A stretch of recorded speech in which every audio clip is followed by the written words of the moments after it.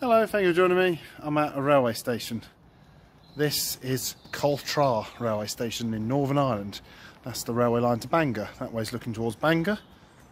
That way's looking towards Belfast. I've just come from Belfast.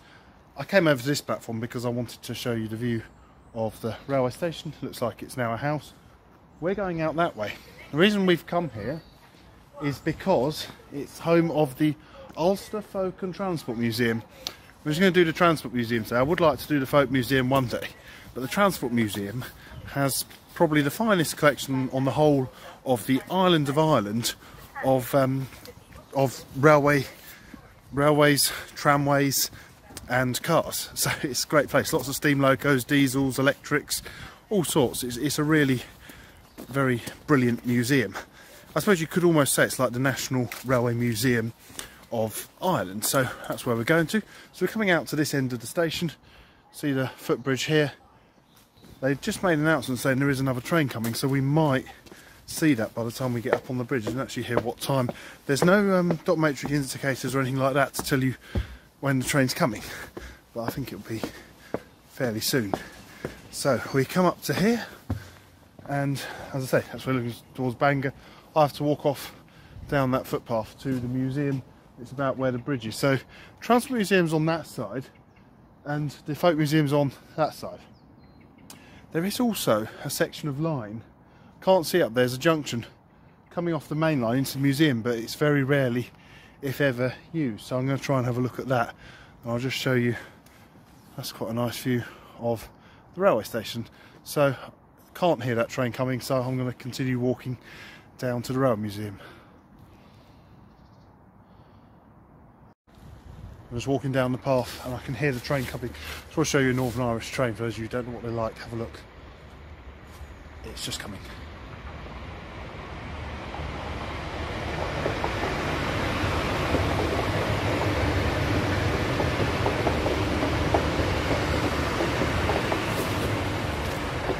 That was 3014. Now, regarding Northern Irish trains, I have pretty much seen all of them. This morning I was down to needing to see just five of them. I saw two of the 3000 series trains, so I'm down to needing to see just one more of them and two of the 4000 series. The 4000 series are very similar. The 3000 series actually have a, a yellow circle on the front, whilst the 4000 series have a slightly different livery on the front. They're both built by CAF, built in Zaragoza in Spain. They've recently lengthened some of the 4000 series cars, so you've got some that are three cars and some that are six cars. And if you're travelling on the Londonderry line, six cars are very useful. Now we just get to here, little like Lichgate thing. So the museum continues. I thought perhaps we'd be at the museum. We'll continue down this path. It's quite exciting. I have been to this museum before. trying to think how long ago now. Probably about 2012. Um, it is a very good museum. Oh yeah, so we get to the junction here. It says Folk Museum that way and Transport Museum entrance. There's the, the building. Now let's have a look. Oh yeah, and then that way it says Cultra Station. This is the way to the Folk Museum where we're not going to. Video for the future perhaps. Um, I think it's more a something what I'm hoping to see from this bridge is the junction into the museum. So that's looking back towards Cultra, where we've just been. Ah, oh, yeah, now, if we look down there, you can just see there is, I don't know how well the camera's out, there is a, there's a set of points. And just one track going in, so everything could be brought in and out by rail. Anyway, I'm going to go and find some, we've seen some modern trains, let's go and find some historic old trains. I'm just paid to go in. I'm really quite excited. I have been here before, as I said, but looking forward to rediscovering it again because that was a few years ago. So you come through this glass-like tunnel. That's the building there. On this side, though, that's about that link from the National Rail network. You can just see it down there. It's a railway line. So the, the Bangor line is just over there, and the railway line goes into the building. I don't think it's used much, but it probably could be used. So we're going to go into the railway gallery, which was opened by His Royal Highness the Duke of Edinburgh in 1994. This is the really exciting railway gallery. So have a look at this. Come into here. and we're kind of up on this platform and you look down and just about everywhere you look there are steam locos diesel locos rail buses more diesel locos more rail buses another steam loco it's really quite exciting you're just like well, which way should we go this all looks so so exciting so, so we'll have to have a look around it's it's exciting to me because it's different it's not you're not going to see a black five here or the typical locos you'd see at a British Rail Museum, although obviously we are in the UK. You're going to see things like this loco, number 600. I think her name's Maeve. She's, I think she probably is the biggest steam loco on the island of Ireland. And then have a look down there. We'll go and have a look at all these locos closer. And um, another nice large tank engine. Obviously, a lot of these locos are not my usual, what I'm used to, because they're all various different Irish railway companies and I've I know a bit about the Irish railways, but not um, as much as I perhaps do the British railways. So we've got to work our way down this this long um, walkway, taking us down. But this, to me, as we walk down here, all adds to the fun. As you walk down, the museum kind of opens up and reveals itself. You see different views of the loco, so you get a great view. Like I said, I think her name's Maeve. Apologies if it's not. It's Gaelic name, or Gaelic name, sorry. Gaelic Scottish, Gaelic is Irish. It'd be lovely to see her running again. I don't know if we ever will. Never say never. Anyway, continue to go down here. Also, as I like brutalist architecture, I quite like this part of the architecture. Look at that. I like the architecture as much as I like the exhibits of this museum. So as we almost make our way down to ground, revealing more views, got a narrow gauge loco there standard gauge. As I said, this is all, when I say standard gauge, for the rest of this video, if I say standard gauge, unless I say otherwise, I'm talking about Irish standard gauge, five foot three, not the British and most of the world standard gauge of four foot eight and a half inches. There is, of course, one four foot eight and a half inch gauge railway on the island of Ireland, the trams in Dublin are four foot eight and a half inches, but other than that, to my knowledge, there are no other four foot eight and a half inches gauge railways on the island of Ireland anymore. There have been in the past. Here we have, sure we've all had a pint of Guinness at some point. This is one of the diesel locos for the Guinness Brewery. I might do a diesel bash down to Dublin. I'm staying in Belfast at the moment and I'm thinking of going to the Guinness Brewery. I probably won't make a video, but I believe there are some similar locos on display there. Now, what they used to do, they used to used to get a ride around the brewery by train. Now, I would have done that by now because I've been to Dublin a few times if you still got a train ride, but you don't. But you do get to see the locos. And this is probably the most unusual loco we're going to see here. This is a dual gauge shunting loco. So, the diesel loco you see there and this steam loco, these were part of the Guinness Brewery and they're 18 inches. There's a nice little model. Okay, this track's a bit shorter, but you can get a view. There's one there. They're 18 inches, and there's, there's still a fair bit of 18 inch gauge track around Dublin Brewery, the Guinness Brewery. But what they used to do these, they could actually lift this loco and put it into what was called a haulage truck that was five foot three inch gauge. So effectively, it was a dual gauge locomotive, which really, I should think, unique. So it's built in Dublin. Um, in, I'm not sure if that's, that must be its works number. One, oh, built in 1905. That's it, and it's 190, its works number. Sticking with narrow gauge, we have narrow gauge diesel, narrow gauge diesel, Irish gauge diesel, that's Falcon. I always think that looks like a giant miniature loco. Think of the miniature locos you get at places like, oh, where did I go? I saw one like Alderney, not Alderney, I haven't been to Alderney, Guernsey on the Channel Islands. I was thinking of railways on islands, full sorts. of Anyway, on um, in Guernsey on Channel Island, they've got a miniature railway and they've got a loco that looks a bit like that. You want to see, have a look at it on screen now. So go from, as I said, Irish gauge to narrow gauge. This is one of those videos, I should have bought a tape measure with me. I could have found out exactly what gauge all these locos are. But anyway, maybe another time. There's some models there. Now this is interesting, this bench from Great Victoria Street. I started my journey today at Belfast Great Victoria Street and as you know I caught the train to Cultra Belfast has had an interesting history of termini. I'm not going to try and attempt to go through it, but this map helps out a bit. That is Belfast Great Victoria Street. This is the River Lagan. There used to be a station called Queen's Quay, and there used to be a station up there called York Road. Now we would have come around here and there was a station somewhere called Windsor, which no longer exists. About here somewhere is what's now called Lanyon Place. It used to be known as Belfast Central. I came over this bridge here over the Lagan and then I came up here up the Bangor line. There's now the Cross Harbour Link line, which kind of goes across there. It was paid for in the 90s or eight, late late 80s, early 90s, opened the early 90s by the European Regional Development Fund. It runs up here, and uh, that's the old York Road terminus.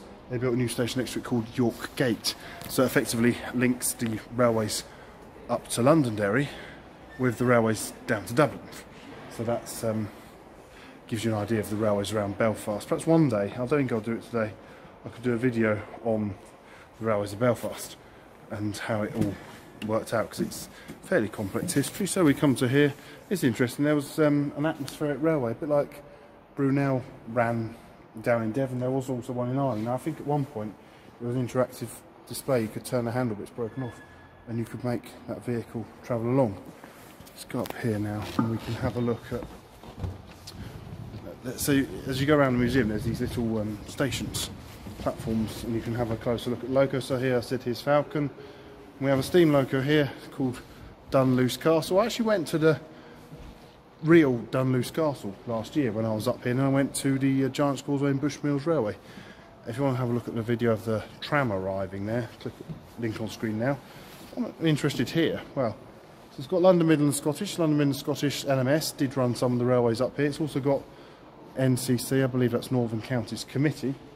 This is interesting. This is a tablet exchange. So as the train was going along, you could pick up a tablet for the signal.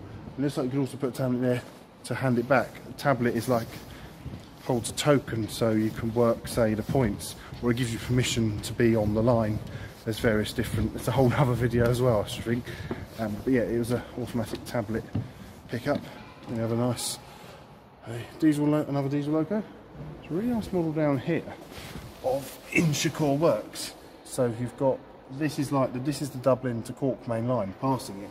I've passed on the train. I've taken pictures of that tower quite a few times. It's always an exciting start to a train journey as you leave Dublin, Heuston, and you go past Inchicore Works. If we come around this side, look down here, gives you an idea of what they've been like inside. So many different steam locos. Great to see all these green steam engines, loads of them and then that's locos on shed. So that's a really, a really nice model. Let's let you see the front of the shed.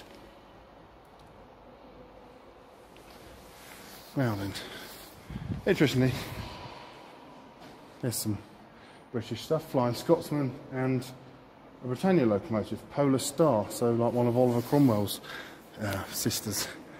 Anyway, let's go now and find some more locos that you're not going to see anywhere else but here really. And that's what makes going to the island of Ireland exciting is although you're still in Britain well certainly in Northern Ireland you see some really unique locos. Look at this that's a steam tram Belfast Northern Counties Railway I think that is um, there are boards everywhere telling you about everything and then so I could have a look but I'm fairly sure that's what that is and then this loco Phoenix that's a diesel loco that used to be a steam loco I think it it's, um, looks like it's one of these chain driven locos. If you look down there, you can see a chain. So it does happen. There have been various locos that were diesel or were steam and got converted to diesel. There's also a locomotive called Emmet, two foot gauge loco in the UK, which is steam. It used to be a diesel. It's basically a steam loco built on the frames of an old diesel. This is quite cool. This is one of the um, yeah one of the County Donegal Railway rail cars. That's like it? it's the committee rail car. It's tiny. It's not much bigger than a family car. But if you travelled on the County Donegal railways, you'd have more likely travelled on one of these rail buses. It is articulated. I'd love to have had a ride on them. I have seen one. I have been to the museum up at Londonderry where they have got some more of these. That's the museum. It's not always open, but it's worth going to if you can get there. Talking of rail buses, there's a, although it looks smaller, that's a five foot three inch gauge rail bus. There's Dunluce Castle again.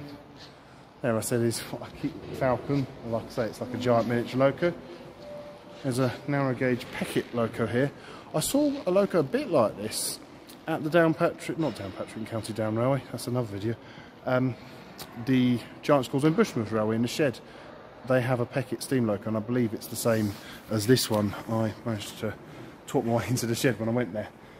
And then here we have a couple of simplex diesels, which would have been built in Bedford, in England, so they would have been quite common working on various narrow gauge railways. Now, what we're going to do, we're going to go and have a look at the bigger steam locos, and then we'll, fin- we'll have finished in this gallery, but there's a few more galleries to have a look around. So, this is a huge tank engine, Belfast and County Down Railway, I believe, and this was built by Beyer Peacock in Manchester.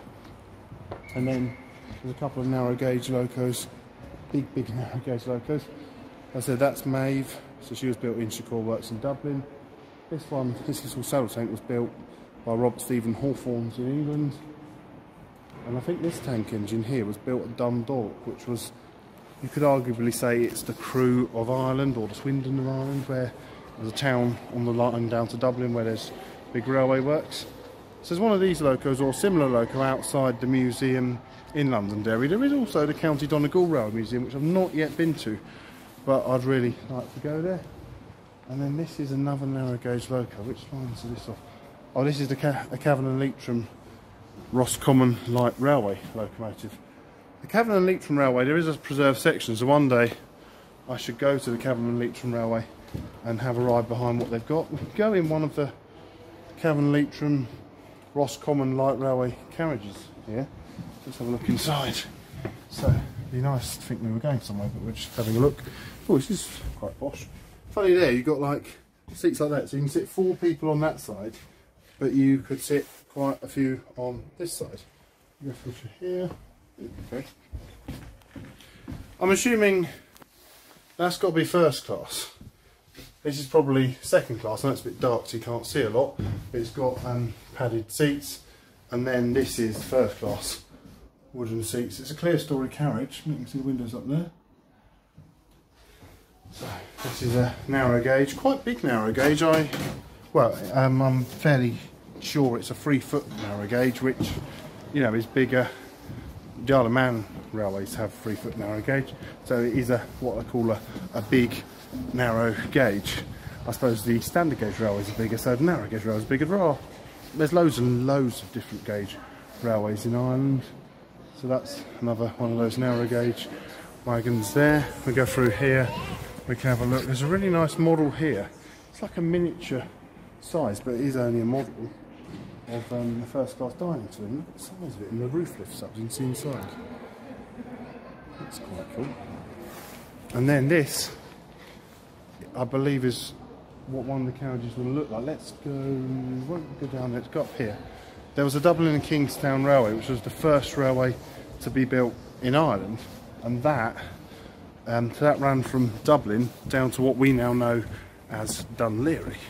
And if you're wondering what those carriages were like, probably a bit like that.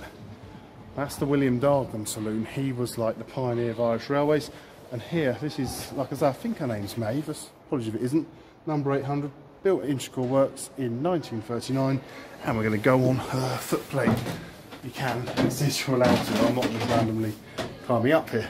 It's massive. It, it feels, um, feels, so it's got that British feel. It doesn't feel like being on a big German. It feels a bit like perhaps a Bulleid Pacific or, or that kind of thing. It reminds me a bit of a Great Western King class, but it feels bigger. I'll give you a view out there. So what thing I'm going to do now, I'm going to go to the next hall and uh, we're going to go and have a look at some tram. No, let's just do, let's go in this loco first. Then we'll go and look at trams. But it's so exciting, all these different steam engines, which you're only ever going to see here. You're not going to see anywhere. So now we're on a British built steam loco. Oh, this is good. Look, we can see straight into the William Dargan saloon. And there is a dummy of the man himself. So, as if I'm the driver, I'm not going to take you by train, but we're going to go and have a look now from the railway hall. We're going to go down to the tramway hall.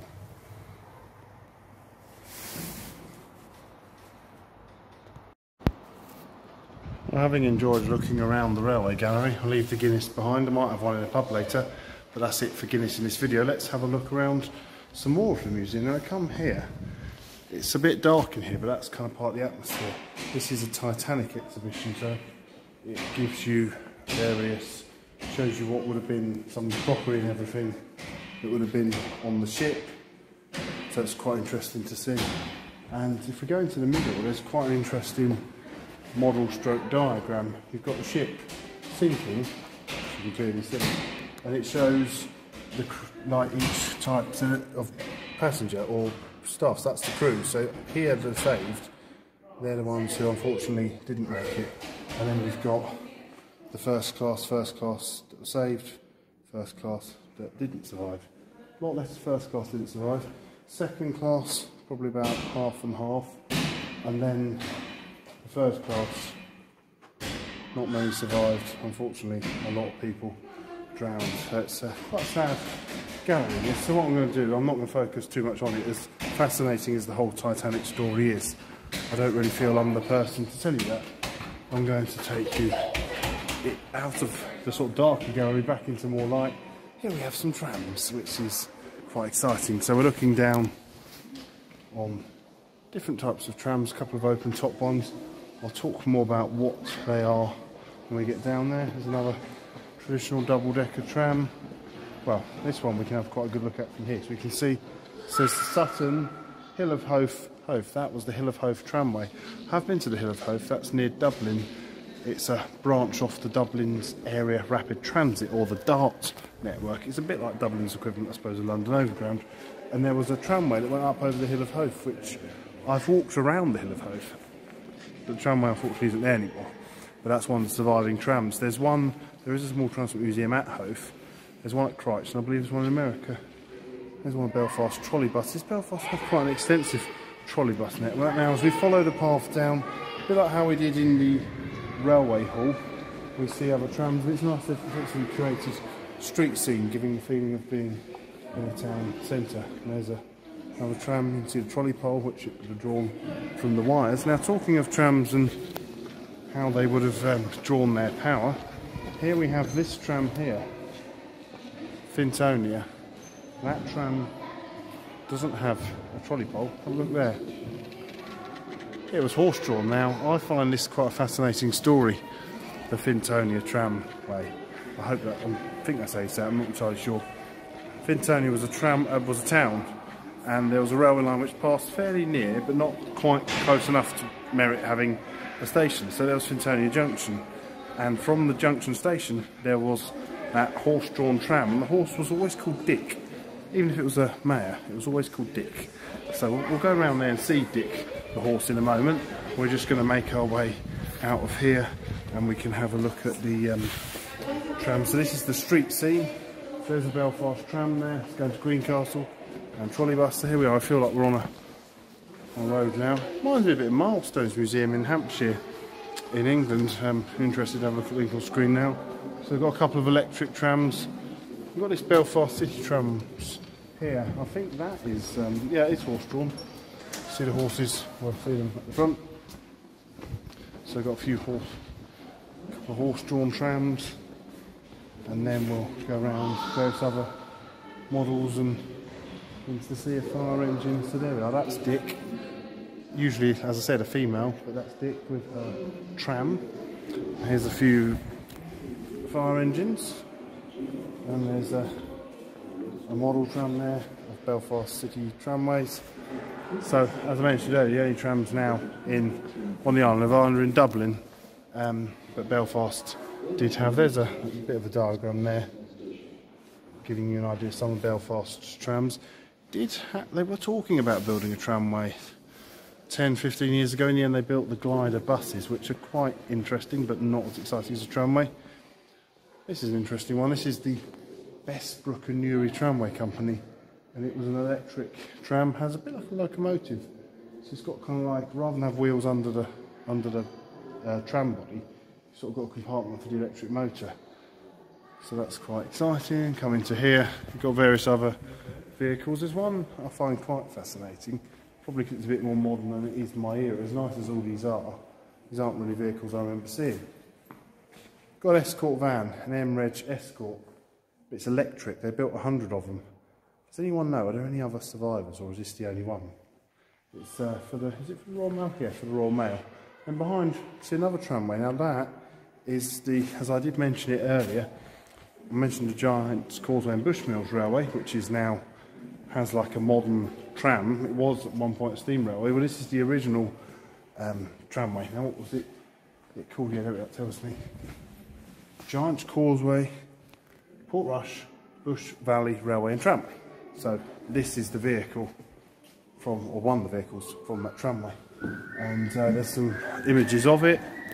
I'm assuming that's from that tramway. That's quite a nice street scene. I really like this one of a tram passing Dunluce Castle. We saw the locomotive Dunluce Castle. That's the picture there of the building, Dunluce Castle. So it's got, this is what they call a toast rack tram because it's like toast you slide in and in this motor vehicle it's a bit more luxurious. We've uh, protected you from the elements because I can tell you now it can be quite windy on the uh, on the Northern Irish coast, as nice a coastline it is. This is really cool, this little Ulster bus, little bus It's a model bus, but if you look closely, there is a steering wheel. You see that? So you could actually sit inside, or a child possibly could sit inside and give their friends some rides. Now, I walk down here, that's, as I said, that's the hill of Howth Tram, that's the Newry Tram and the Fintonia Tram. There's a, another, that's a motor bus, that one. That one's a trolley bus we're now going to go down another level. As I said, I do really like the building. I think um, it's kind of semi-brutalist.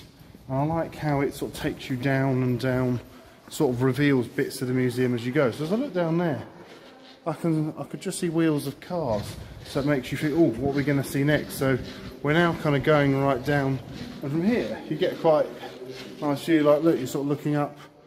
The trams are above you and um, you look ahead. I can see another car down there. We'll have a look at that. And then um, eventually the museum goes outside. There's another gallery right down the bottom. Um, I might not do that in today's video because that's kind of going beyond well once we've left the once stuff comes off isn't stuff that runs on rails my sort of expertise isn't so great. So it's kind of like I'm just going to show you some of these cars. I don't know too much about them but we'll have a quick look Ford Mondeo, I know what that is. they're all really nice to see. But as I said, I'm um, although I do like classic cars, my subject is the railways. And uh, what have we got there? Is that, yeah, Ford Anglia. I know one of them. Vanden Plas. This is funny. Now this car, these are the invalid cars. And I think was a destruction order. There's not many left, but if you want to see one, there's a really, really good channel called Hubnut have a look at Link on screen now. He makes videos about cars. He's got one. So that is an invalid car. There's a, a Triumph there. And you've got the whole sort of nine, sorry not Triumph, it's Cortina. Get my cars mixed up. That is a Ford Cortina. And there's the sort of 60s living room. So if you had that living room in the 60s, you may well have driven a Ford Cortina. There's a few more sportier cars along here. Um, what we got? What? That an MG there? Merc, and uh, Triumph Stag. That's the Triumph. And then we have, I think it's a Rover taken apart for you to see how it's built. That is a very old Peugeot. Admittedly, I only know that because I just read the sign. And then there is a Hillman Imp. Now, what we're going to do, we're going to go outside. Um, there's a couple of things I wanted to show you out here. Unfortunately, one of my favourite exhibits isn't here anymore, which is a bit of a shame. We go out past the Mondeo. So we go out here, out outside. Don't the camera's picking it out, but I can hear a train departing Cultra railway station. It's, it's, we're not that far from Belfast city centre, but it has that really nice feeling of just being out and so far away from where get this view of the building. I do really like the building. I think it really is a building, as I said, I like the interior. I like these sort of sloping bricks how the water can just run down them. I think it's a building the Auschwitz really has thought a lot about. Now, when I came here last time, as I said, it must have been, it was more than 10 years ago, down the bottom here, there was a miniature railway. Unfortunately, there isn't a miniature railway here anymore. I'm not entirely sure what's going on, but admittedly, before filming this, taking a video, I ran down here, well, I came down here and had a look around. And uh, the miniature railway is not there. I wasn't expecting it to be running. I was kind of hoping to see it, but it appears to be gone completely. I was, um, it was run by one of the model engineering clubs, I believe, of the area. So um, it doesn't look like I'm coming back here to do a Miniature Railway Britain episode. I'm not saying I won't ever come back here, but there is something even more intriguing than this miniature railway, which I said has now gone. There's this lovely big oak tree. Wasn't actually what I brought you down here to see. There's something, now I didn't see this on my last visit. It must have been here, but it was summer when I last came. So all of these bushes yeah, would have been really overgrown. But look, what's this? Earlier on I was walking along there and I was like, that's a couple of rails, isn't it? Here we seem to have the remains of what must be a two foot gauge narrow gauge railway complete with sleepers and everything okay the track's a bit buckled would not try and run a train over it there's literally trees going through it but the track continues we'll go up here I am really supposed to do this but um, I don't think that's too much there you can clearly see that's the remains of a railway line and then there's a rail down there and it goes off it's not that clear on camera but if I come down here you can clearly see there's a rail. So what on earth is going on here? It looks like what I want to know about this railway. So if you know, um, please do comment. Tell me what what what was this? Did they do passenger rides here? Was it a construction railway when they built the gallery down the bottom? I'm not going to include a gallery down the bottom in the video. It's interesting, but um, it's not really my area of expertise. It's I think it was land, sea, and sky. It's got stuff to do with boats, aircraft, and everything. Um, I'm going to go in this bush see if we can find any more. I think anyone watching thinks I'm going in here to have a wee, but I'm not, I promise. Um, go through this huge rhododendron bush. Oh yeah, yeah, we see more of the track. They're gonna, anyone is, anyone has seen me disappear, they're gonna wonder what on earth I'm doing. Yeah, so look, the railway line, it does continue. It's probably again not clear on track, on camera, but I'm definitely, definitely standing on a railway line. If you look down here, there's rails. It's not that clear, but there is there is railway. There's a rail here. I'm uncovering it. I think it's not showing up on camera. I promise you it's there. We'll come out this way now. So what's all this about? Please do comment and tell me. And I think that kind of um, brings me to the end of this video. A, a really fantastic transport museum, but with a rather odd mystery narrow gauge railway. What what was this for? Was it a contractor's line for building the museum? Did it once give rise? Whatever it did, clearly was a railway. And there were those simplex diesels in the top hall. Were they ever run on here? Did they even run steam on here? Please, someone tell me. I, I will probably ask on my way out as well if anyone knows. But what's going on here? Please tell me. Anyway, I hope you enjoyed this video of the Ulster Folk and Transport Museum. Thank you very much for watching. Please do feel free to like, subscribe and comment. And what seems as far away from transport as ever, but under a lovely oak tree. Thank you very much for watching. Please do feel free to like, subscribe and comment. Goodbye.